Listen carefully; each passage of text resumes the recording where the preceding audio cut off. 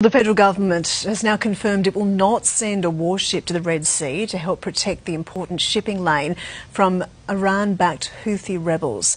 Let's go live to our federal politics reporter Fiona Willan. Good morning to you. Just talk us through what's been revealed. Well, Davina, the Defence Minister has confirmed Australia will increase its contribution to the region but will not be sending a warship to the Red Sea. Uh, Richard Marles says up to six extra Defence Force officers will be deployed to Bahrain uh, to take part in the US led Operation Prosperity Guardian. Now, America had asked Australia to contribute a warship to help keep sea lanes safe after militants from Yemen started attacking cargo ships and disrupt- disrupting vital trade routes. Instead, the Deputy PM says the ADF will have up to 16 personnel t- taking part in the maritime operations in the Middle East. We won't be sending uh, a ship or a plane.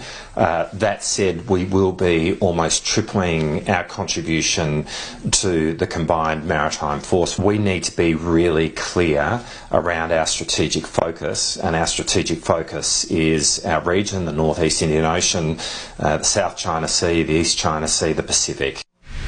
Now, the Prime Minister yesterday indicated there was no plan for a warship to be sent, saying the US understands the best way for Australia to get behind this is through diplomatic support. The Shadow Defence Minister has described that decision as an embarrassment for Australia, saying we should very much be involved because international prosperity and security are at stake. Davina? Okay, Fiona, thank you.